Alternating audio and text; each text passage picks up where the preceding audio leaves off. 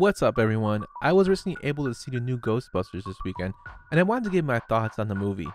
So if you haven't seen it, there will be spoilers in this review, so go check it out and come back and watch the review. And with that, let's get to it.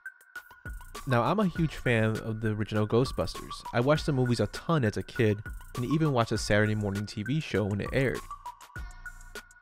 The movies are all-time classics, with an all-star cast consisting of Bill Murray, Dan Aykroyd, Harold Ramis, Ernie Hudson, Sigourney Weaver, and Rick Moranis.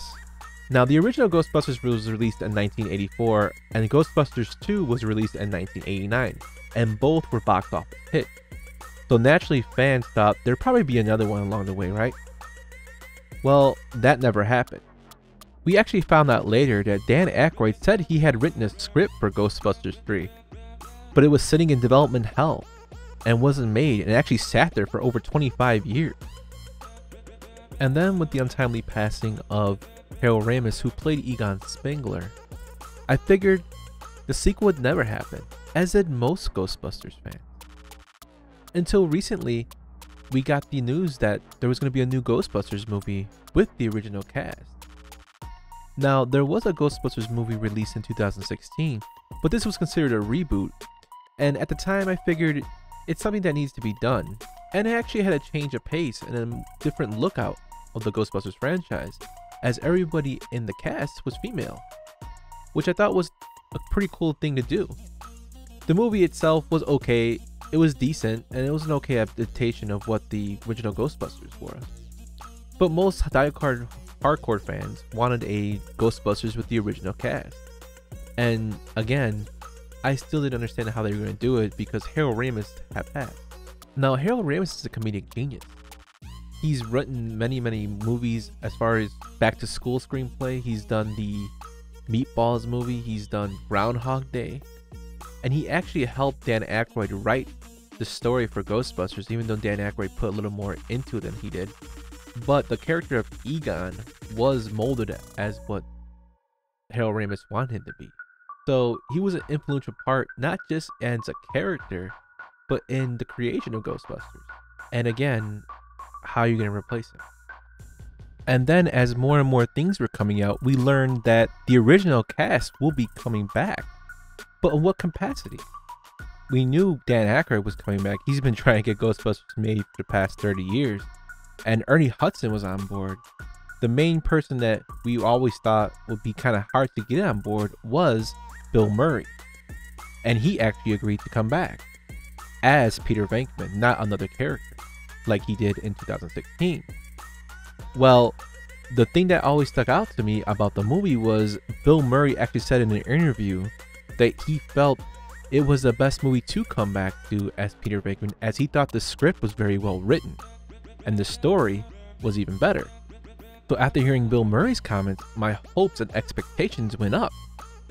And I was actually really excited to see the new adaptation and see how they were going to take the story. The opening scene put to bed any doubts that I had about the movie, to be honest. I love the way it was shot with the proton pack going off. We hear the nostalgic sound of it going off. So we know a Ghostbuster is there. We see the chase scene through the cornfield up to a scary looking house. We see the trap being dangled as a way to get the ghost to be enticed and we see the person holding the trap. Not his face, but we see his silhouette, and we know it's Egon. We can tell by his hair, we see his glasses in the shadows. And fun fact, his Egon was actually played by Bob Gunton, who is the warden from the Shawshank Redemption. And I thought he played it very well without having any lines or dialogue in it. I really love the way it's shot, the way he runs into the house and pulls out one of the paranormal readers that the Ghostbusters used to use and it's just beautifully shot with a dim light and it's like you're seeing Egon in his last moments. And before he perishes, Egon actually places the trap and what we find out later is the floorboard. Cutting to more recent times, maybe a week later, we find Egon's daughter, Callie, played by Carrie Coon, and her two kids, Trevor, played by Finn Wolfhard, and Phoebe, played by McKenna Grace we can already see that Phoebe actually is a dead ringer for her grandpa as she loves science and kind of has some resemblance to Egon. We also find that Egon is actually abandoned his family. Him and Callie had no real relationship, and we later find out about his relationship with the rest of the Ghostbusters. Now, the background on Callie is kind of cliche to me a struggling mom with two kids that's living week to week. Now, it is relatable, especially in this time of the pandemic. I just thought it was a little cliche in terms of Hollywood. We find out that Egon actually left his house to his daughter, and the house we're talking about is the one we saw in the beginning of the movie. This house is located in Summerville, Ohio, which is a very rural area. And Egon, as we find out, was known as the dirt farmer. He didn't speak to anybody, but he continuously worked on his farm. The house they inherit is a dump. But we do get a cool cameo of a real caring character, Janine, who is played by Annie Potts, who is actually from the original Ghostbusters and was a secretary to all the Ghostbusters in the first two movies and love interest of Louis. She tells him that she's been handling Egon's affairs and he, Egon basically left a lot of debt to his daughter and he was pretty much broke. Well, as the kids begin to settle in at their new job and as school, Phoebe is actually led to the trap in the floorboards by a ghost. And we all assume this ghost is Egon. And this is one of the aspects of the movie I really enjoyed because there were no words used for the character, everything was all visual. There wasn't even silhouettes or CGI shown for it. It was mostly practical effects of lights moving, lights turning on, things pushing here to there that actually made it more intense and actually seemed to fit the narrative of the movie better. I really preferred this aspect to using a voice in or a stand in. I did like the stand in in the beginning of the movie, but I prefer it more practical this way with the ghost not being saying anything, just kind of moving things around. And he shows Phoebe where the trap is, which she does uncovers and brings it to school to show her substitute teacher, Gary Grooberson. Now, Gary Grooberson has a lot of features or attributes of Louis, in my opinion. He's nerdy and he's really smart. He's also very awkward as well but he is a big fan of the Ghostbusters as he grew up around that time. And when he sees a trap, he's astounded and uh, and so excited to open it. When they open it, they let out a spirit that goes into a abandoned mine. We later learn in the movie as we get going the story that the abandoned mines actually was uncovered by miners. These miners uncovered Sumerian artifacts and Sumerian statues and as told by Phoebe's friend podcast, these miners actually committed suicide jumping into the mine and nobody knows why. And this is one of the aspects of the movie that I actually really liked. Again, the throwback, the continuous falling back on the older material and elaborating on it. We learned that Ivo Shandor actually created these places within the town. He actually built the town from the ground up. Who was Ivo Shandor? Well, he's actually the person that built the Manhattan building for Gozer. So now everything falls into place. And it also explains why Egon moved there. And that is further even explained when the kids actually see Muncher, a ghost that resembles Slimer, who eats metal, and Phoebe and Podcast try to shoot it with the proton pack, which they catch, and eventually end up chasing it throughout the street in the Ecto 1, which was repaired by Trevor. Now, the Ecto 1 scene prior I really liked was that they would give you little tidbits of views of it. They never actually showed it until he actually drove it off. But the whole fact that he was fixing it, the looking at the logo and then his phone goes out, it was giving you like anticipation, building it up and up to get you to see it and want to see it. And as a fan, of course, you want to see it. The nostalgia was hitting like crazy. This movie has a lot of throwbacks to the Ghostbusters universe. During the Munchers chase scene, there's actually the scene with the gunner seat and the Ecto 1. That wasn't in the original Ghostbusters movies, but it actually was a big predominant part in the Ghostbusters cartoon. The elaborate story of Egon Shatner, or elaborating on that story, we learned that he did build the building in Manhattan, which first brought Gozer here. But we also learned that he built the town of Summerville and is setting up another place for Gozer to appear. He actually makes a cameo in the movie as well, played by J.K. Rowlings, but his scene is so short, it's actually pretty funny what happens to him. So if you've seen the movie, you know what I'm talking about. But that aspect of Ivo Shandor is actually an aspect that was mostly expanded in the 2009 release of the Ghostbusters video game. And I love the fact that Jason Reitman actually included all these things because it's bringing the universe together as one. Another part that I actually liked was the chase scene from Paul Rudd and the Keymaster. Now, before he's chased by the Keymaster, Paul Rudd is actually looking at and astonished by the appearance of the Stay Puft Marshmallow Man, but in miniature form, who eventually attacks him to where he then stumbles upon the Keymaster. And the Keymaster is better looking in this movie, of course, this 30 years later. But the chase scene is almost resembles the same scene with Louis or Rick Moranis in the original. He's chased through the Walmart and as he gets outside, we have that similar look of when he breaks through the glass, just as it did with Louis when the beast actually broke through the windows to get him.